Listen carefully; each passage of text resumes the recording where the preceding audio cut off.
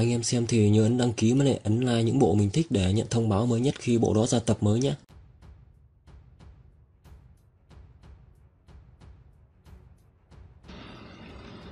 Sau khi ăn vào tinh hoàn của đại vương, thân xác ta trở lên vô cùng cứng chắc. Vậy mà vẫn bị một kích của nữ nhân đó chặt đứt làm đôi. Đây là thực lực thiên phú gì vậy chứ? Quả nhiên là xa không thể nào với tới mà. Bị lôi phá cường đại như vậy xuyên qua, trực tiếp hóa thành chua bụi. Thủy hỏa trong thiên tôn này của ta, dù gì cũng mạnh hơn cắn thuốc. Chỉ dùng một lần đại chiêu, Thấn thể đã không thể nào chống đỡ nổi rồi. Ấy, tính mệnh của ta đã đến, đã đi đến tận cùng rồi, không thể nào chịu nổi gánh vác thêm cường liệt nữa. Thật đúng là đáng buồn mà, Lý Mộc Tử từng nhảy nhót khắp nơi ngày xưa.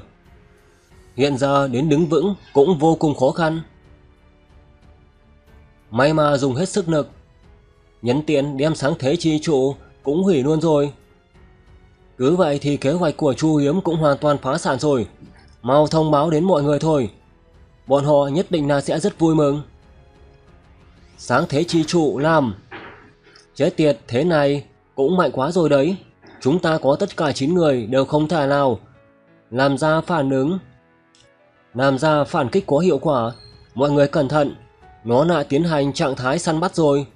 Chết tiệt, căn bản là không thể nào làm gì được nó.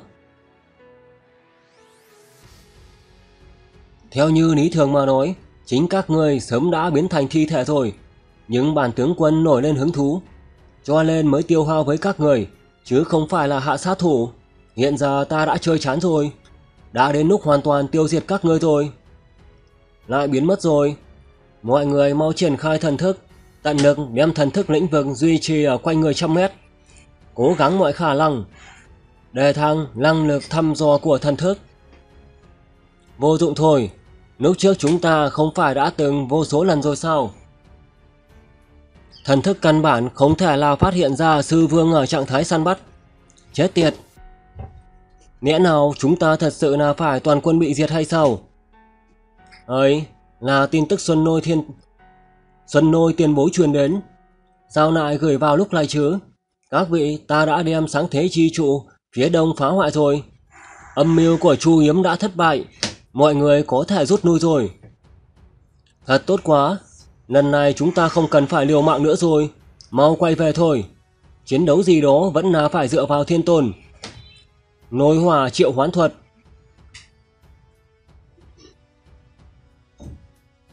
Diệm Vân Thần Điểu Diệm Vân Thần Điểu khi giáng lâm sẽ thiêu đốt nên ngọn lửa quanh mình. Ngọn lửa có thể ngăn cản Hoàng Kim Sư Vương lại gần. Chúng ta nhân lúc này mau đi thôi. Bạch trưởng não, chúng ta đã bay rất xa thôi. Nhưng ngài vì sao nhìn có vẻ buồn bực không vui vậy? Xuân nôi tiền bối đã phá hoại sáng thế chi trụ, chúng ta không cần phải liều mạng nữa. Đây chính là việc tốt, nhưng trong lòng ta lại có dự cảm chẳng lành. Thắng nợ đến quá dễ dàng khiến ta cảm thấy không chân thực. Bạch đạo hữu trải qua sự biến của dược thần cốc, bị sư tôn của chính mình phản bội, trong lòng đối với việc có chút cảm giác không an toàn là việc rất bình thường thôi. Yên tâm đi, mọi thứ đều kết thúc rồi. Lần này quay về ta sẽ tỏ tình cầu hôn với sư muội. Hoàng Kim Sư Vương đang ở trên lưng của thần điểu. Nơi này không gian nơi này không gian quá nhỏ, chúng ta không tránh được. Mục tiêu tiếp theo của nó sẽ là ai? Diệm Vân thần điểu vậy mà lại bị cắt cổ. Mọi người mau ngự khí phi hành, rời khỏi nơi này.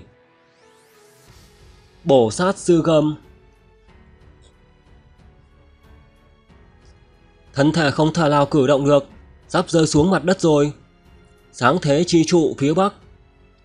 Thật không ngờ thứ gọi là tinh hoàn đó lại lợi hại như vậy, vậy mà có thể khiến cho đại thừa kỳ yêu tộc có được thực lực tiếp cận với thiên tôn.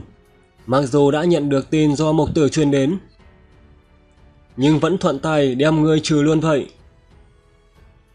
Thứ đó là sáng thế chi trụ à? Nhìn nó liền thấy khó chịu, cũng phá luôn vậy. Lam phong cước Phát hiện ra công kích đủ để hủy đi sáng thế chi trụ, thân thể của túc chủ hồi phục đến 9,575 thành. Phù hợp điều kiện đánh thức. Vậy mà lại làm phiền bản tôn ngủ say, thật đúng là lá gan lớn lắm. Tính ngấn thiên tôn, ta phải giết chết người. Chu Yếm thức tỉnh,